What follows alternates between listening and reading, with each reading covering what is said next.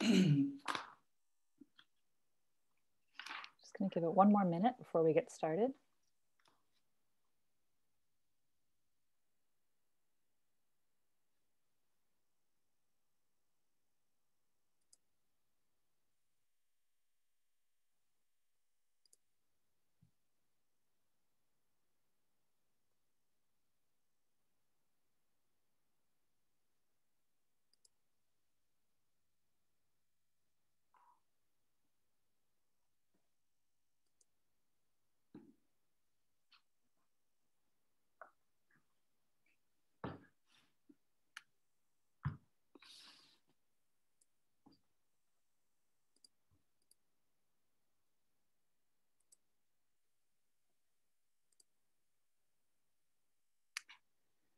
Think we can get started. Welcome everyone to tonight's event. My name is Dr. Christine Schmidt and I'm the Deputy Direct Director and Head of Research at the Wiener Holocaust Library.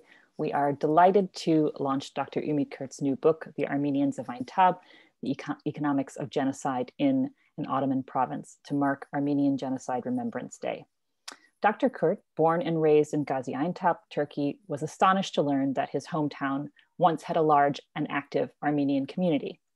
The Armenian presence in Aintab, the city's name during the Ottoman period, had not only been destroyed, it had been replaced. In his book, Dr. Kurt digs into the details of the Armenian dispossession that produced the homogeneously Turkish city in which he grew up. Kurt shows that the prospect of material gain was a key motivator of support for the Armenian genocide among the local Muslim gentry and the Turkish public. Those who benefited most, provincial elites, wealthy landowners, state officials, and merchants who accumulated Armenian capital in turn financed the nationalist movement that brought the modern Turkish Republic into being.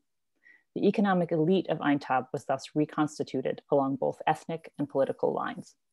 Tonight, we are very pleased that Dr. Kurt will be led in conversation about his book, which provides a history of genocide at the local level by Professor Stefan Ihrig.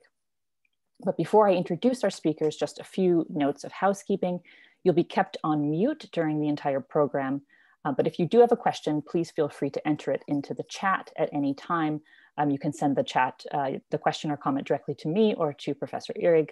Um, and after the formal conversation, we will try to get to as many of your questions as possible. The event is also being recorded, but your camera will not appear on the screen. Um, we've also enabled auto captioning for those who wish to use it, and I'll also put this in the chat. You can find this at the bottom of your screen but please note that it is an automated closed captioning and therefore sometimes the words on the screen do not accurately reflect the words of the speaker. So if you have any technical difficulty, please send a note uh, either to me or my colleague Sonia and we will try our best to help you. So now to our speakers. Dr. Ümit Kurt is Polonsky Fellow at the Van Leer Jerusalem Institute. Oh, apologies, my screen just did something strange. Uh, the Van Leer Jerusalem Institute and an Australian Research Council Fellow. He is the author of several books in Turkish and English, including The Spirit of the Laws, The Plunder of Wealth in the Armenian Genocide. He's a fellow graduate of Clark University, where he earned his PhD in 2016, and also a former EHRI Fellow at the Wiener Holocaust Library. So it is with great personal pleasure that I host tonight's event in support of his book and his important research. Stefan Ihrig is a professor of history at the University of Haifa and director of the Haifa Center of German and European Studies. He works on various aspects of European and Middle Eastern history with an interest in the media as well as political and social discourses. He is co-editor of the Journal of Holocaust Research. And now I hand the virtual floor over to Professor Ihrig. Thank you. Thank you so much. Uh, welcome everybody. It's really a great pleasure to be part of this event today not only because it's always fun to talk with Ümit, who is a great um, gentleman, scholar, and friend, and it's always exciting and it's inspiring, but also because I really like the topics um, Ümit is working on. So, as um, Christine already introduced uh, him, he's the author of quite a number of books and articles in Turkish and English. Um, and one of his aspects there is the aspect of plunder of wealth, property, property redistribution in times of genocide. And for me, this is very interesting. Uh, we often, and myself included, focus on meta discourses when it comes to genocide and motivations. But you know, it's often really about material gain as well.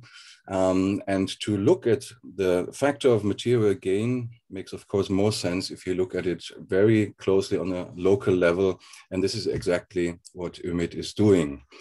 Um, and this book now, especially very interesting, as also Christine already introduced, it's not something that's very distant from our author with whom we're talking today. That's actually the town he is from. And I will also have a question regarding all of this. So me and Ümit, we talk sometimes. Um, we also already uh, discussed a little bit, you know, what is so interesting about his book right here. So I'm going to uh, kick off. I'm not going to talk much myself, I hope. Um, this is always a danger. I want to have Ümit talk. We have the author here with us, and then also to let you um, have questions and discussions with him. Um, so the first thing, Ümit, is this a typical genocide book?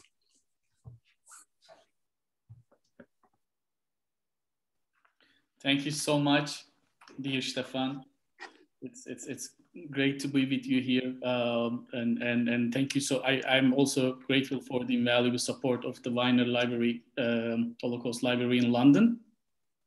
Um, is this a typical genocide book? Uh, no, it, it is not a typical genocide book. Actually, um, honestly, I wouldn't want my uh, book or the story of the book, the crux of the matter, uh, considered from the point of view of genocide studies or genocide field or genocide uh, scholars. It's a book uh, about actually the history of a city which was a late Ottoman city and, and also a city evolving evolved into, uh, you know, Gaziantep, from Aintab to Gaziantep during the Republican uh, era uh, too. Uh, the book talks about uh, a, a, a, story of a traumatic society, the Armenians of Aintab, which constitute the main actors of the city, uh, whose uh, public, whose demography or population number like around 40,000 out of 80,000. Um, so this story, the confiscation, liquidation, and the plunder of the movable and immovable properties of this city and the Armenians, actually, Arme Armenians of the city, was, was also the story of other provinces, districts um, in Asia Minor, in Anatolia too. Um, that's why the book investigates uh, local and regional dynamics with a particular emphasis on the disintegration of social relations and the breakdown of social fabric in the city of Aintab uh, to contextualize developments that led to persecution, forced deportation, and mass murder of Armenians and the dispossession of their property. Uh, doing so enables me to demonstrate the complex picture of uh, not only relations between central and local actors, but also each group's internal relations, let's say. So thus uh, the book brings together analysis at the micro level. Uh, what I mean by micro level is to contextualize the genocide in global and national context, and the meso level, revealing and discussing the activities of various middlemen of violence, let's say notables, mid-ranking officers, tribal leaders, and so forth. And finally, the micro, micro level. So dissecting how the process unfolded in uh, the various regional microcosm. Uh, an approach actually that has been missing in the literature, I would say. It also provides new insights on the causes and origins of genocidal policies and their impact in making and remaking of provincial elites, and by extension, uh, provincial elites of the modern Turkish Republic uh, as well, I would say.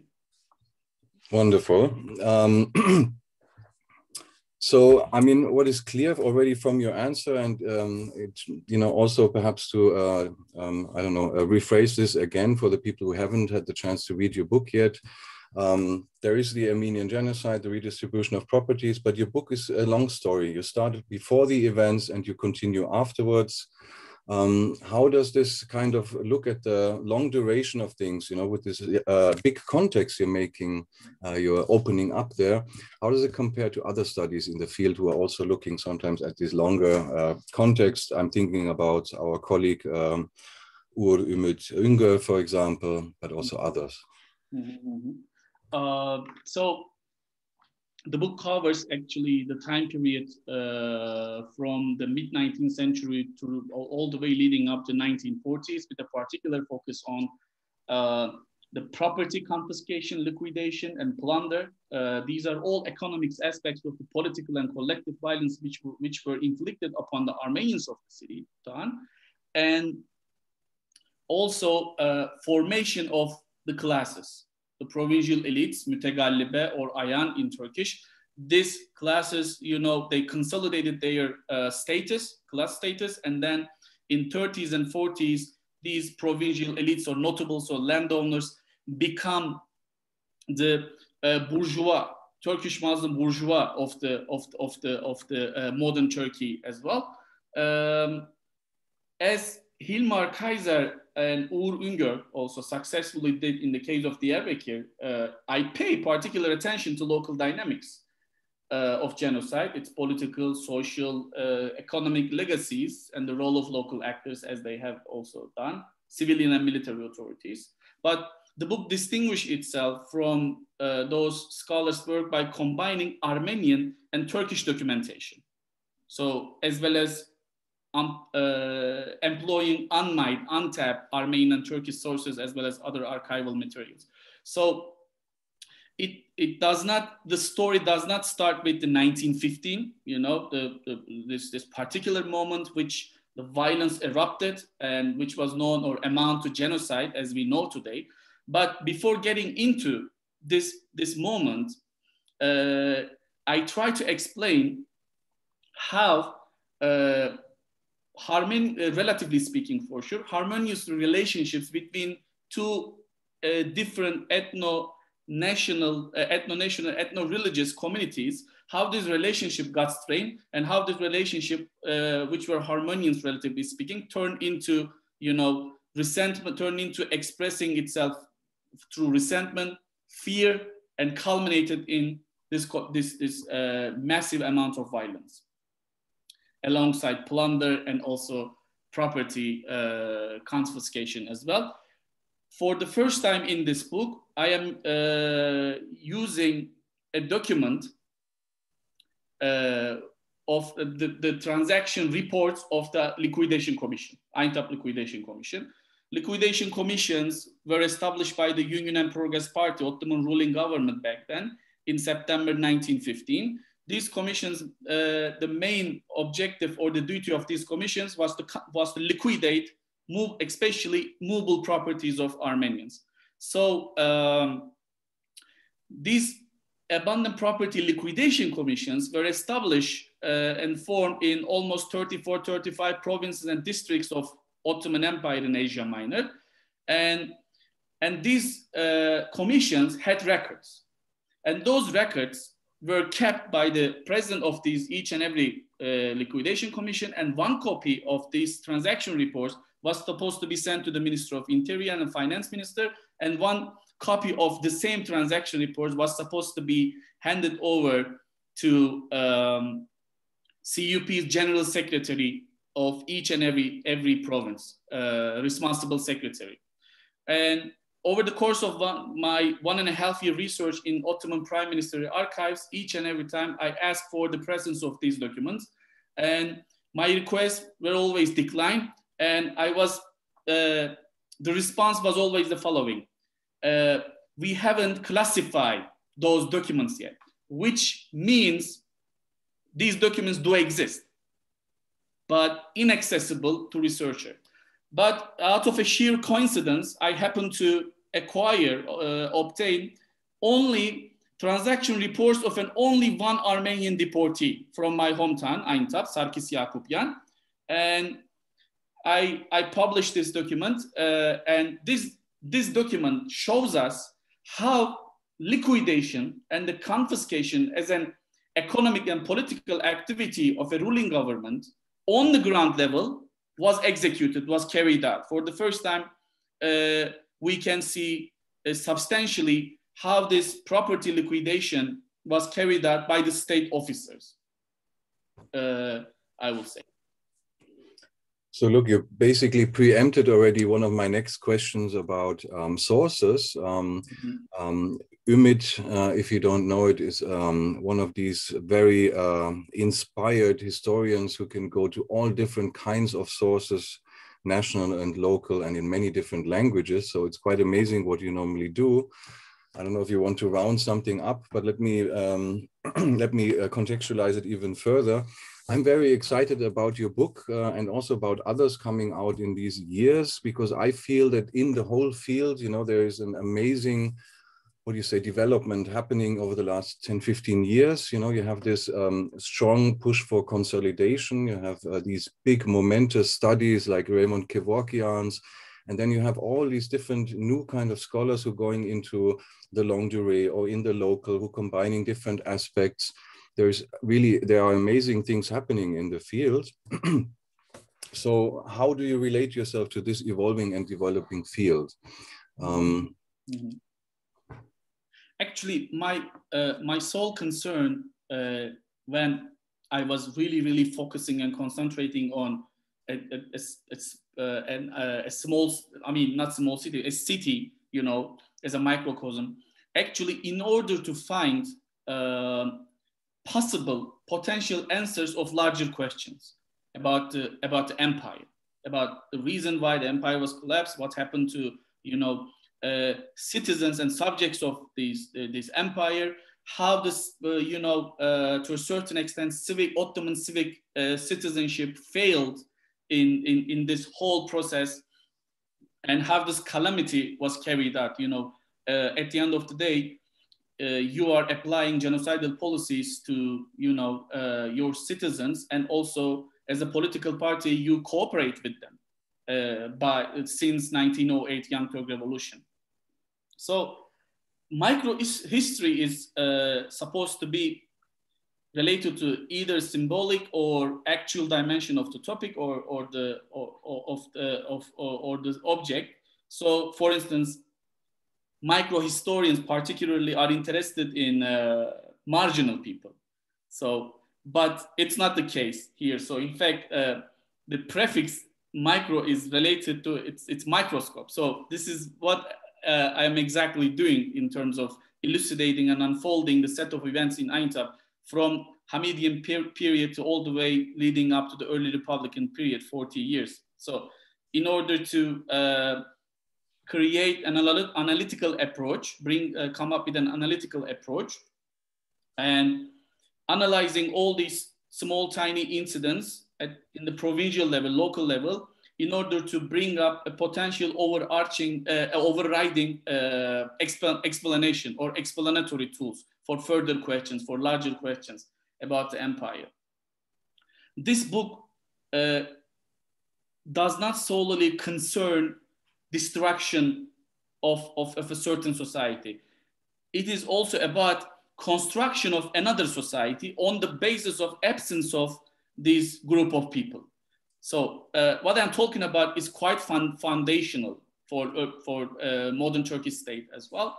And also what we are talking about is uh, a, a, total uh, transformation of a city it's economic transformation, political transformation, cultural transformation, and transformation of space itself as well. Because Armenians of Aintab were not only stripped of their Uh, economic wealth, their space, the space where they articulate their identity, their life practices each and every day, produce and reproduce. This space where they do they used to exist also first destroyed and then constructed and transformed into a new space for new groups of people. Thank you. Um, so the next question is also perhaps something that uh, can connect your work to other people's work on genocide more in general, and also where perhaps you know uh, it can shift a little bit perspectives, uh, and it actually even connects to the first question I got from our group here, from our audience, so, you know, you've been working now on property redistribution uh, for quite a while uh, in the context of genocide. we call it plunder, but when you read your uh, work, for example, plunder has this, um, I don't know, this uh, kind of uh, feeling that it's disorganized. You show how organized it actually is. Mm-hmm. So, from your perspective, from your work, and also looking from Aintab now onto the larger um, picture of the Ottoman Empire at this time, how do you weigh you know ideology geopolitical um, uh, motivations versus property or is there a versus or is it all part of one mm-hmm. wonderful question um, as first of all uh, i must underline the fact that uh, the what makes Aintab distinguishing from other provinces uh, within the framework of all this destruction uh, process and so forth, uh, in terms of motivations that economic aspects, economic motivations were quite substantial in this city. You can measure the validity or reliability of this argu argumentation by looking at the motivations of uh, local actors provincial elite, bigwigs, landowners, civilian military authorities, district governor of the city at the time, and so on and so forth. But that does not necessarily negate the importance of political and ideological motivations as well. They were, they were on the ground too, but economic, economic motivations, when you look at the extent of plunder, when you look at the transaction of Aintab liquidation commissions and post-genocide career of these perpetrators, you, you would see the main rallying uh, support and point, their focal point was to acquire these properties. But as for uh, motivations, again, there were, uh, they were both economic and social. On the economic side, uh, as I have underlined, the prospect of loot, for example, incentivize, encourage local collaborators to support massacres, deportations, and realizing this potential the Union and Progress Party, the Ottoman ruling government at the time, its leadership deliberate, deliberately instrumentalized the promise of spoil and plunder to cudgel public participation.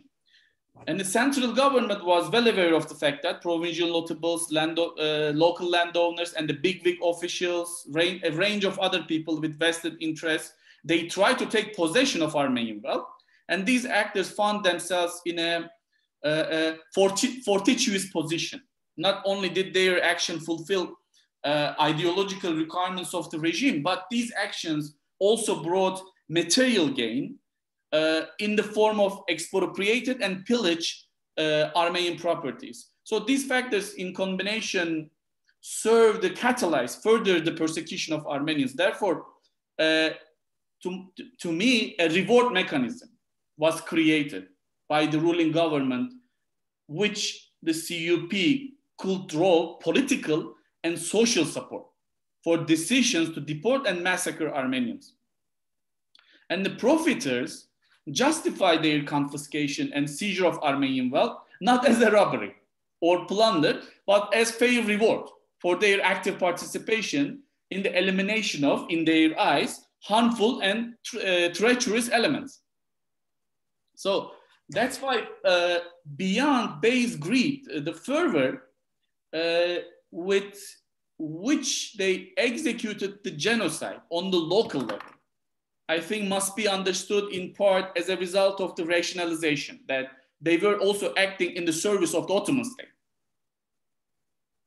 On the social side, it's important to consider uh, the role of stolen and confiscated Armenian, uh, confiscated Armenian assets in the integration and consolidation of the process of Turkification or a Muslim controlled national economy, milli iktisat.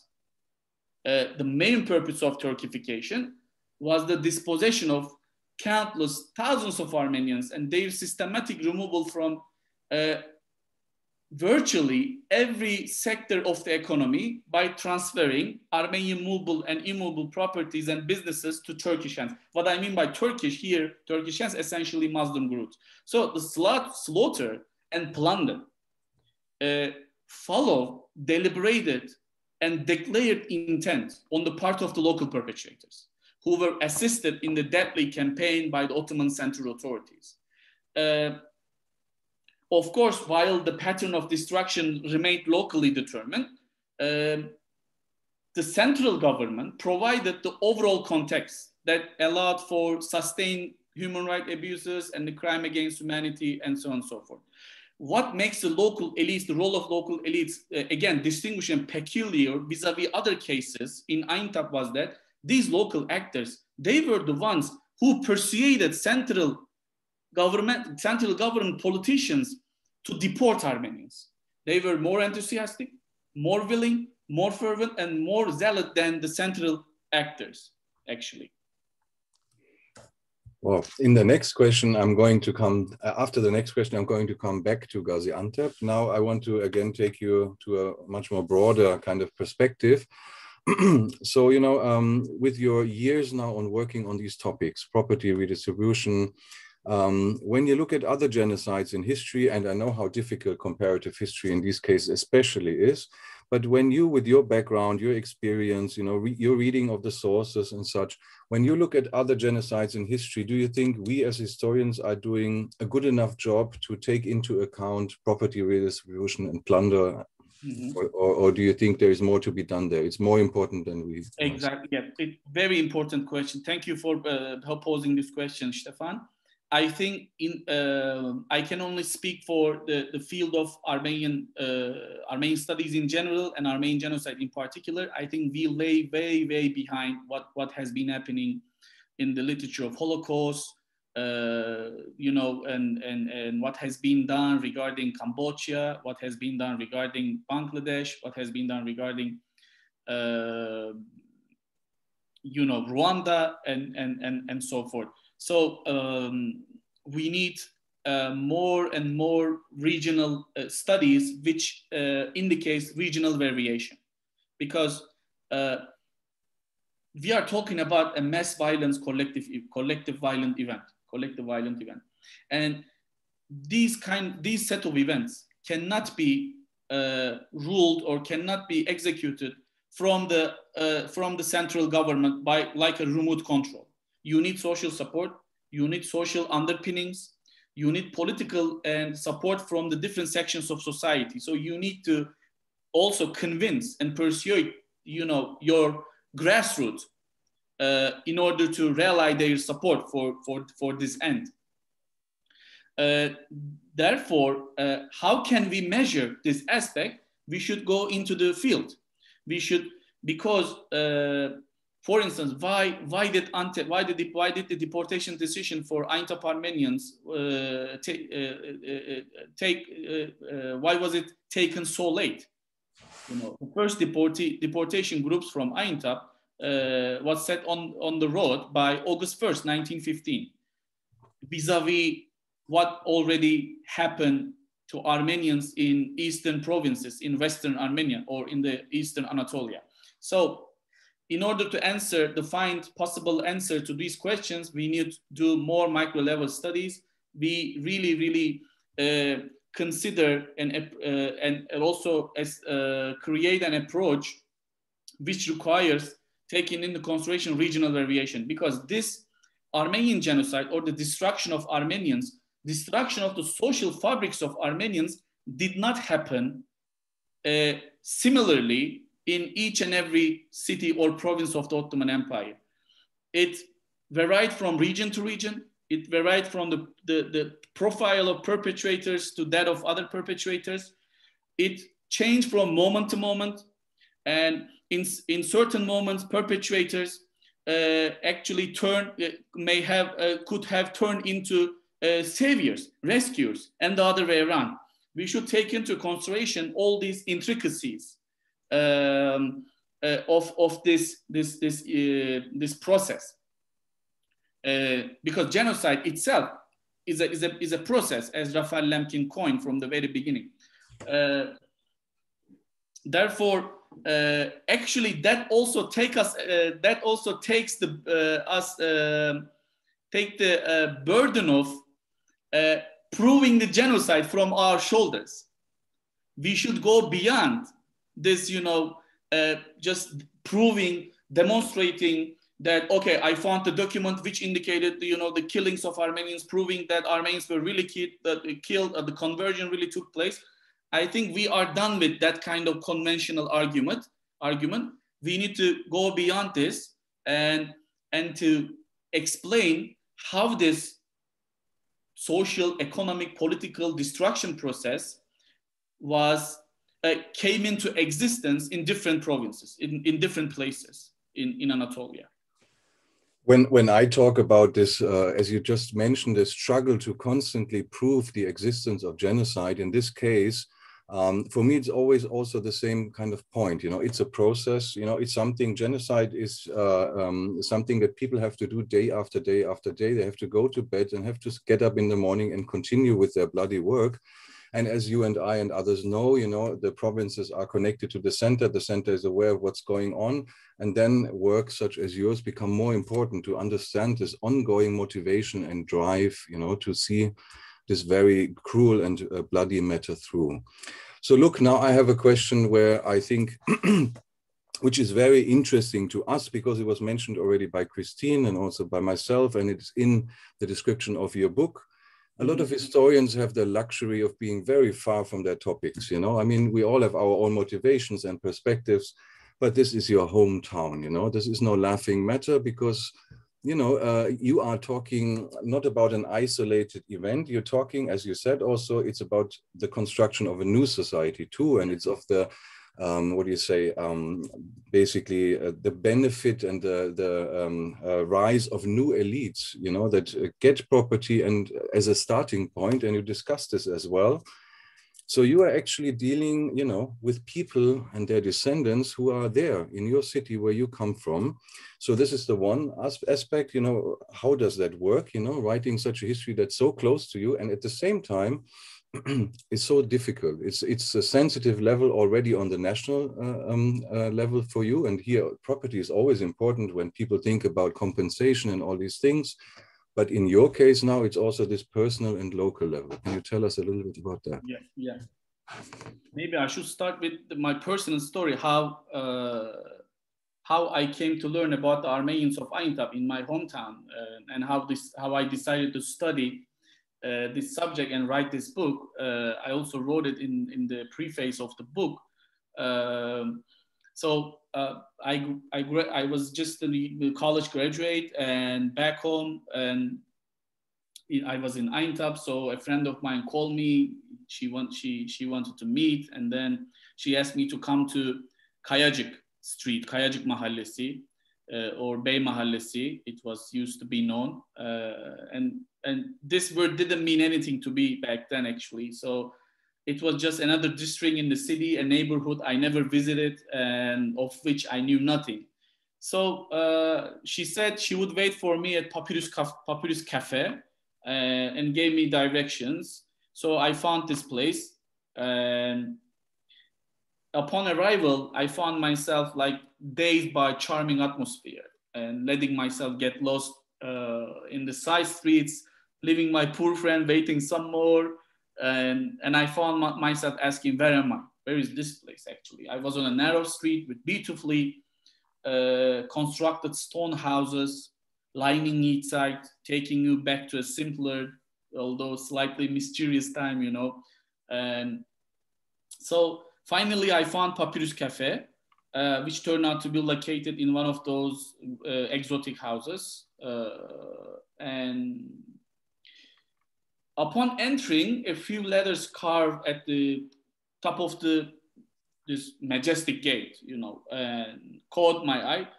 And not recognizing the script, I simply assumed they were uh, Ottoman characters. I mean, so inside, I was once more left speechless because there was a spacious courtyard with staircases, on either side leading up to the two large rooms welcome me and so forth. So i decided to it was an, it was like an experience of historical voyeurism for me and like stepping into a living living museum let's say. So i decided to talk to the owner just try to glean some information uh, about the history of the house i approach him and then uh, i ask i was just wondering from whom did you get this place who was here before you. He vividly explained that he inherited this, this place from his grandfather. It must have been especially the strong coffee they were serving that day and, and I was emboldened to press further. So, and how about your grandfather? I asked. So, from whom did he did he buy this place? He paused hesitantly before responding, and then after a few moments, he softly murmured, "The ground beneath." Okay, he, the ground ground beneath him. There were Armenians here. I said, "What Armenians? What are you talking about? Were there Armenians in Gaziantep?" He nodded, and I was actually getting very annoyed about the um, opacity of his response, you know. So what happened to them? Where did they go? I asked. He responded very indifferently. They left. They're gone. So I ponder, and then I ponder why, let alone Armenians, why anyone, I mean, would leave, just leave and hand over such an exquisite property to someone. So that was the basic, that was the main motivation prompt for me that was actually this motivation has solely to do with my own ignorance about the history of the the main figures of the memory of this this this home my hometown. So that was the the, the main prompt and push uh, for me to work on this subject matter. And in the high school uh, of course now retrospectively speaking uh, I went to great grandchildren of these uh, local elites whose richness and wealth were based on the properties of Armenians, you know.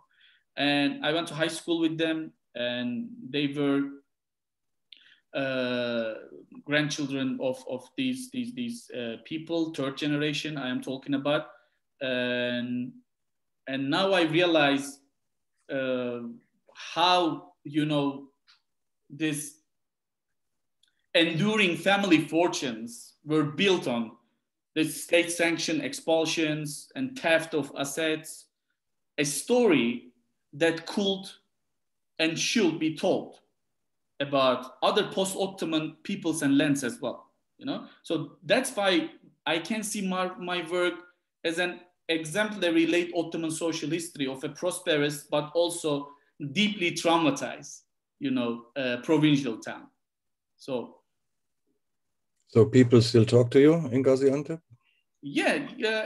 I mean, uh, you know, social relations on the ground function differently. People, uh, you know, people can still uh, talk to you face to face when they get to know you. They can they can engage with you. But of course, for all these serious politics and serious matters, when you start talking about that, they are quite against it. But when you get into get when you make sense to them, they they they do acknowledge what happened because they knew, they heard, they know the history of those houses better than I better than anyone, better than I do. That's for sure. And for instance, in the in the book, uh, I'm uh, I, I I'm showing a map uh, using a map. It's a map by Armenian map drawn by Avedis, uh, Kevork Avedis Sarafyan in 1950-51. And by uh, taking refer by taking this map as a reference, my reference point, I try to pinpoint locations of Armenian uh, houses uh, and properties, all immovable properties mostly. I pinpointed 460, around 460 locations. And also I try to uh, uh, identify trajectory of the ownership of the properties in question. So that's, I uh, came up with a timeline and also the ownership list. Who got it first and then who took over later and then who possessed later, who sold, who bought later, and all the way leading up to present time. And I acquired this information by making interviews with, with the local people in the city. Yeah, but um, it is courageous. And for those in the audience who don't know, uh, Ümit is also publishing in Turkish. He also a few years ago had a book with a very uh, prestigious Turkish publishing house, İletişim, on Ga uh, Gaziantep as well. So it's not, you know, that it's only a communication to the outside. He's also communicating these things uh, to back home.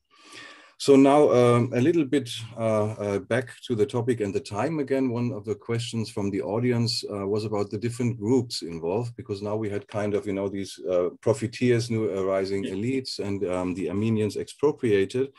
So we had a question about the neighbors. You know, neighbors is uh, becoming a very uh, important term, looking also at um, the Holocaust.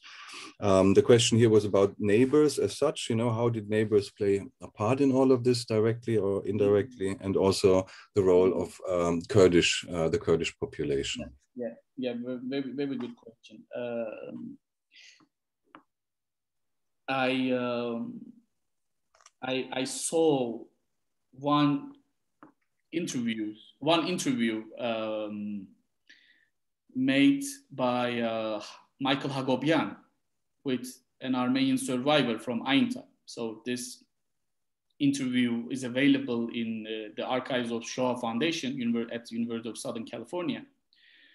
And the, and the genocide survivor from Aintab, and he made the interview in Turkish, in uh, speaking Turkish in Aintab dialect, by the way. And he said, he vividly recalled uh, when they were, um, when they evacuated their, uh, their house uh, with the family, whole family, because they received the deportation order for, I mean, deportation order for this particular family. And they were about to uh, set, set, uh, uh, set to the road. And when they were passing by the street, Muslim neighbors of the same neighborhood uh, come out of their windows and they start to sing "It yola bindi, it yola bindi, it yola bindi." Means dog is on its way. The dog is on its way. The dog is, is, is on its way.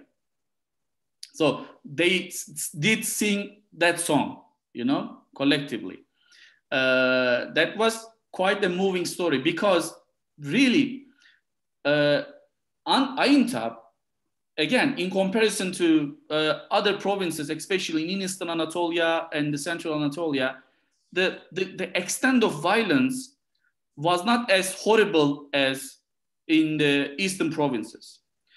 Uh, very few murderous activities, murder, murderous deeds took place in the city, in the, in the center of the city.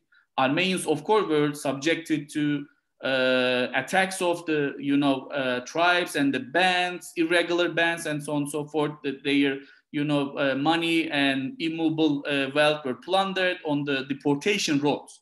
But in the city, when I heard that particular incident, I, I was really, really, I mean, not that much surprised, but I was surprised because uh, at the end of the day, really, even though the public participation was quite substantial and concrete in the case of Aintab, but the relations, there was a specific particular time period between these two societies, social, political, neighborhood relations were really, really uh, solid or were not prone to uh, have broken, broken off, let's say but it happened.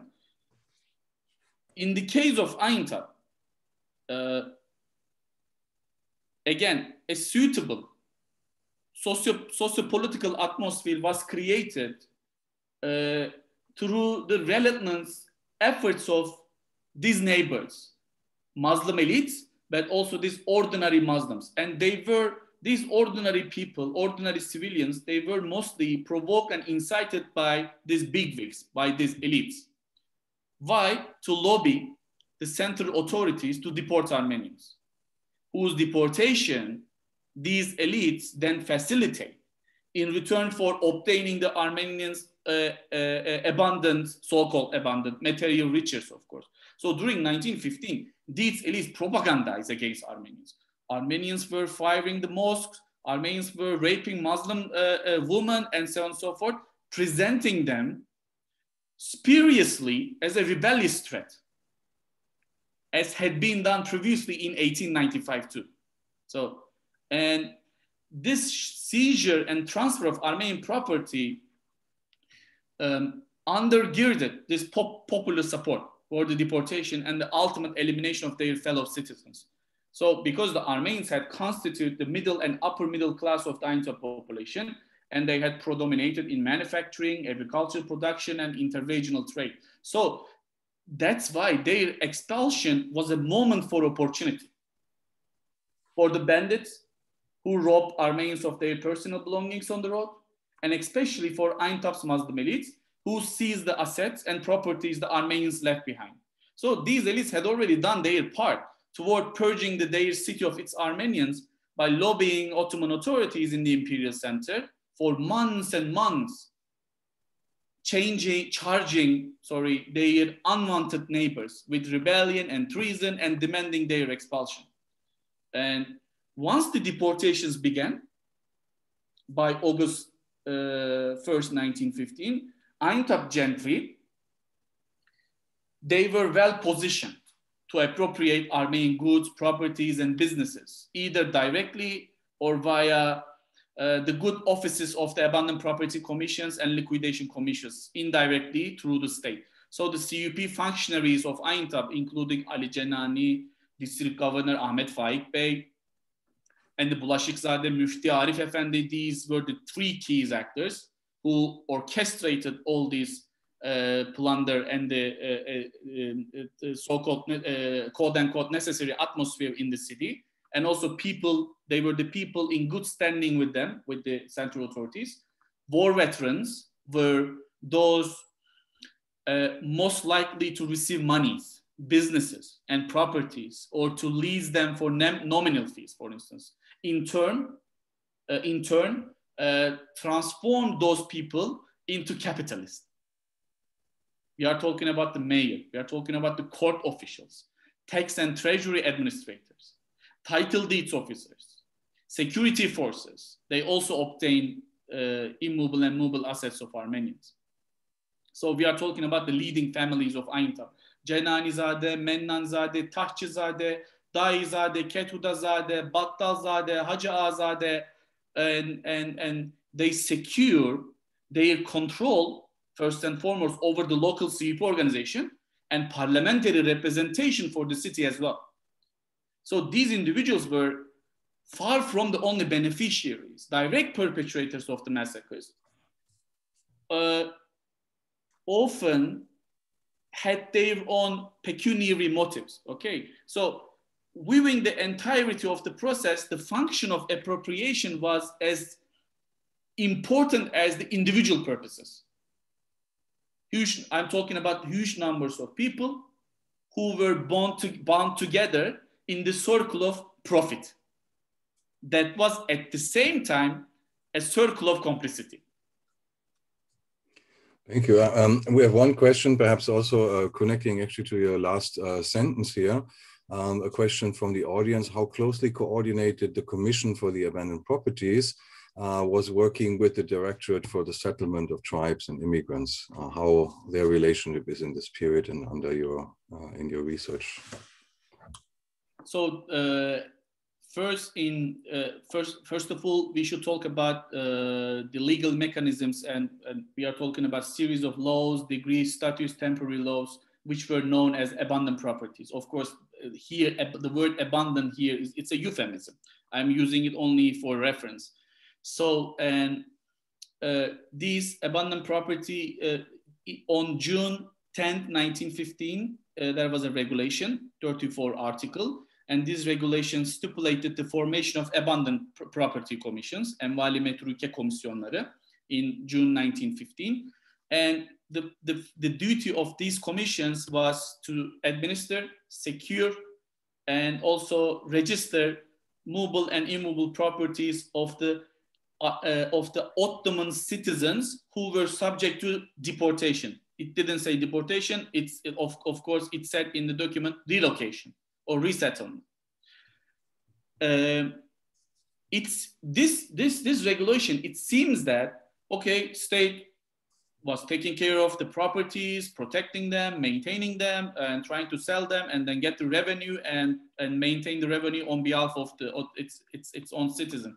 But on 26th of September 1915, they promulgated another law, which was known as the first liquidation law of the uh, Ottoman uh, of the Ottoman um, Union and Progress Party government. This uh, on on the basis of this law, the liquidation abandoned property commissions were transformed into abandoned property liquidation commissions. And their first duty, according to their one article, properties which were uh, immovable and which were prone to be sold out are going to be liquidated. How? Through auctions. And members of these abandoned property commissions were composing of one member from the Minister of Finance, another member from Minister of Treasury, and another member from the, the uh, local, from, from the locals, from the representative of the city. So they, uh, so these commissions basically were comp uh, composed of three, you know, people, and they were um, they work under the jurisdiction of Minister of Finance, Treasury, and Minister of Interior. Since these uh, records of abandoned property and liquidation commissions uh, are in inaccessible to date, also uh, sevkiyat reports, so relocation reports, are also inaccessible to researchers we don't know exactly what is the real relationship between uh, Directorate of Settlement and Tribes and the property commissions. Why? It should be linked to one another because most of these immovable properties were given to immigrants and refugees who came from not only Balkans and the Caucasian regions as of 1911 and 1912. Actually, you can go back to even 1856, the Crimean War. Anyway, it was a series of waves of uh, uh, flows of migrations. Uh, but these properties were also given to uh, uh, uh, immigrants. So they were refugees, they were immigrants. So the Ottoman Empire, the, the relevant department, which was the Directorate for Settlement and Tribes, they made this clear-cut distinction. So mülteciler, refugeeler. So immigrants from Kurdish immigrants, Arab immigrants, Circassian immigrants who were uh, who were settled from one city to another within the Asia Minor. From Adana to Antep, for instance, or from Diyarbakir to Sivas. These uh, immigrants were also given to these properties. Okay, um, so Ümit, now comes the part that I hate most about this uh, kind of job, when I have to tell you to keep your answers short now for the next few that we have. Sorry for that. Um, we have some from the audience. Um, one connects to basically what you just started talking about, the kind of different classes uh, profiting from the um, uh, redistribution of wealth. We had a question asking you, um, you know, it seems, you know, what we said before, uh, probably until this last uh, uh, part of the conversation, that it's mostly, you know, what become the new elites, you know, uh, the question was about the working class. How did they profit from this plunder of Armenian wealth? And I will give you also the next question. You can perhaps do the, those two together. Um, there was a question about what about uh, international repercussions of this plunder of wealth, you know, uh, because it's something, you know, that, and we know this from our research, you know, also people abroad um, uh, noticed and recognized. What was the reaction to this part of what was going on at the time abroad? Yeah. Uh, first part of the question, first question, it's, it's an excellent question. Uh, and I also analyze the answer of the question in the detailed manner in the relevant, relevant chapter within the book. Uh, actually, uh, when we are talking about plunder or obtaining these properties via so-called legal process or via plunder, plunder of economy, which I call, these properties, these assets, these tools and everything, they were uh, uh, already wealthy rich Muslim families, Muslim, that's why I call them, they, they, are, they are Ayan, they are local elites, they are landowners, bigwigs, they were, and also civil, civil military officers as well, including. These guys, they were already politically very strong and also had good terms with the central government and they were active members of Aintab CUP club. And these, these were the people local elites who were already rich acquired these properties. So they consolidate, that's why they consolidated their uh, class status, you know, from 1915, 1918, 19, uh, and by the depart, total departure of Armenians from Aintab to Beirut and Aleppo after 1921, these elites, you know, uh, again continue acquiring uh, kind of so-called buying out these properties through, you know, auctions at ridiculous prices. So already politically, economically powerful, strong elites acquired these properties. What happened to working class, let's say, actually real story and the, which makes the story very spicy from that moment. Because during the French occupation of the city, the real power, real uh, effort was shown by these working class let's i mean i i don't there was no working class in the first place back then but let's say working class retrospectively because they were actually uh, like uh, ordinary muslims uh, from different neighborhoods they were quite nationalists, they were ethno-nationalists, they were religiously nationalists, and these people were really defending their hometown against not only French forces, also Armenians, because for them, in their eyes, the real occupation force was not, was not French, they were Armenians. And these were the people, ordinary people, who by heart, wholeheartedly supported financially, logistically, whatever they had at their hands, to Kemalist national nationalist forces in the city, Kuvayi Milliye. Not, and these forces, these Kemalist nationalist forces, were not supported financially and logistically, logistically by these local elites in the first place. They were very dubious, very doubtful about the Kemalist forces. They didn't want these forces in the city because they believed neither British nor French occupation forces are going to touch upon their property. They, they did not ask for restitution. They did not put them on, on trial for their, you know, atrocities during the massacres and deportation and so forth. When these two processes started and gained acceleration, these local elites who were hiding in their farms and village, adjacent villages, all of a sudden they came out and they decided to support financially and logistically to Kemalist nations forces in order uh, in order not to give these properties back to their real owners. The real fight started at that moment. And then afterwards, uh, these ordinary people who put all these strenuous, strenuous efforts to defend the city, who became, you know, famished, who gave everything at their hands and so forth, they were also expecting, you know, properties. They were also expecting certain rewards, but they didn't get what they so-called deserved. And the real political and uh, political fight and, uh, and also conflict started in Aintab in early 20s and 30s from this vantage point. And the economic and political, uh, especially economic classes in Aintab were constituted along those lines. And these people, ordinary people, this fight continue until the establishment of Democrat Party in 1950. When Democrat Party was established, all these people who, who believed that they didn't deserve what they, they, they didn't got what they did, they didn't get what they deserve as a result of these, you know, uh, their efforts and support during the French occupation, the, uh, evacuating the city out of the Armenians and so on and so forth, they became members of Democrat Party massively. Thank you. Um, so look, I don't want to close this evening before asking you about the future. it's always a good question for historians. I want to ask you about future project of yours after now having finished this wonderful project.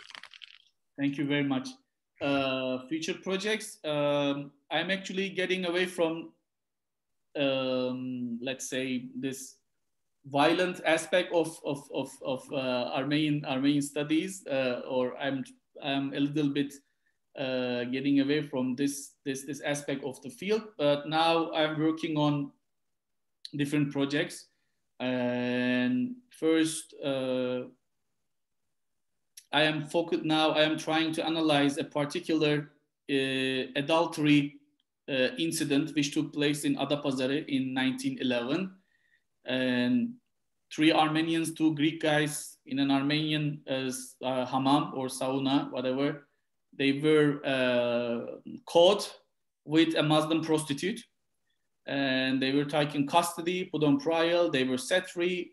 And the district governor of Tutan was against this decision and tried to put them in prison and condemn all these things. And he, but in order to get support from the Muslim and the Muslim community, he distorted this event and showed that uh, Christians were violating Muslim women.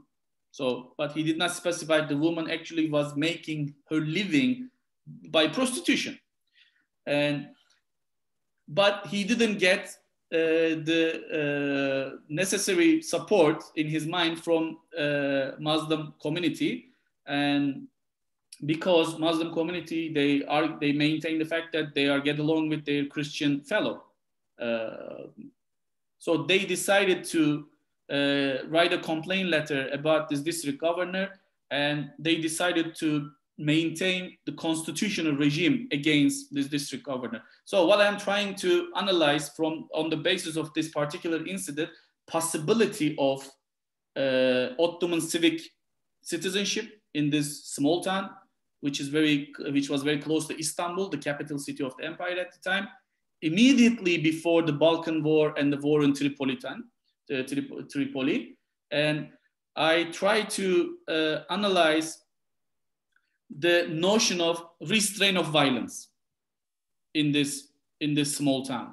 Uh, this is one of the projects. Another project is I'm uh, writing a biography of um, Mustafa Reshat Mimaroğlu, uh, who was taking charge of arrest of intellect, Armenian intellectuals in Istanbul on 24th of April 1915.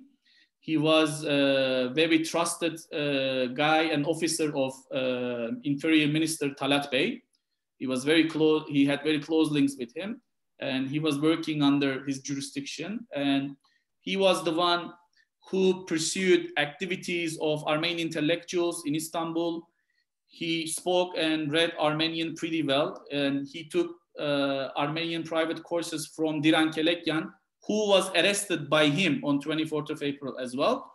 And this guy, after fulfilling his duty during the uh, war period, genocide period as well, uh, during the Republican period, he climbed to the echelons of the state one by one, and he became the president of the Court of Appeal in Turkey, and also became a deputy of Republican People Party in early 1950s. And I'm right, I am writing uh, his biography in order to show uh, the continuity of the rank and file of the CUP and the Republican regime. Um, Wonderful. So we have a lot to look forward to. Uh, interesting, okay. exciting books.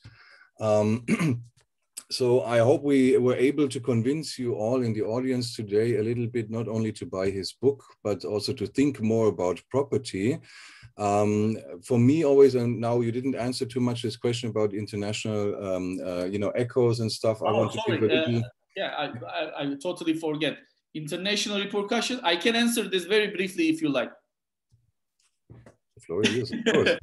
Thanks. So in the past, in the past five to six years, uh, actually, there have been a tendency among the Armenian diaspora in United States and in Europe to open a lawsuit in Turkish courts about uh, reclaiming their property, not reclaiming the value of their properties according to current uh, present currency and so forth. And uh, actually, these these are doable. They have such a right to open a lawsuit within the within the boundary of Turkish Turkish Republic. Turkish courts are Turkish courts have to take these cases, to take have to look at those cases. But you need a reliable, trustworthy lawyer who actually who was who is bold, who's supposed to be bold enough to take those cases.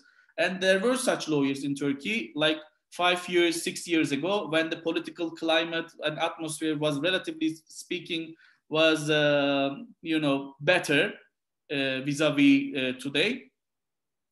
Um, so these these cases, I, I am not very optimistic about uh, the results of these cases. It's, it seems impossible to acquire the the, the, the uh, value of uh, the, the, proper, the, the abandoned properties, stolen properties, or plundered properties. But these uh, court cases uh, would enable the lawyers of uh, Armenians who open all these lawsuits to get into the title deeds archives and to see the trajectory of the properties, their own properties.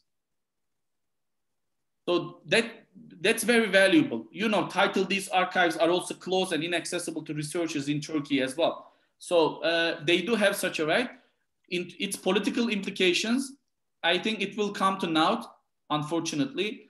And now, uh, considering the, the, the bleak and grim political uh, climate of Turkey, it seems impossible to continue this process now. Thank you for that addition. So um, I will continue with my wrapping up speech. Um, so um, for the international dimension now going a little bit back, um, I think it's important to stress, um, as you know, sometimes if you're not a specialist or working or thinking a lot about the Armenian genocide, you know, it was something that um, really agitated the world over during World War One, but also in the years afterwards and I don't want to push my own work on the topic, but what I found really interesting is that after there was a debate around the German, uh, the Armenian genocide in Germany in the mid 1920s, a German Jew wrote a book criticizing the new far right movements and such. And he wrote there that you know if these Turkish lessons, as the Nazis um, as the Nazis formulate them or they understand them, it would mean the death of all the Jews in Germany and Austria and their restitution of property to the Aryans. So uh, I thought it was interesting that in this one sentence, you know, he goes from the physical violence and the killing immediately to the property. So if we still didn't convince you that property is important in the context of genocide, I will urge you to buy Ümit's book. Oh, now it's here uh, mirrored. Harvard University Press did a very nice job uh, with this book, and they're doing a good job with keeping the prices down. So, oh, I see some in the audience have it already. Wonderful. Support Ümit and his future work. Thank you so much for taking the time, and thanks to the Wiener Library for having us tonight. Thank you. Um, just wanted to say thank you on behalf of the library to both of you. Um, congratulations, Ümit, on your book, um, which I also have. Thank you for sending it to us for our collection as well.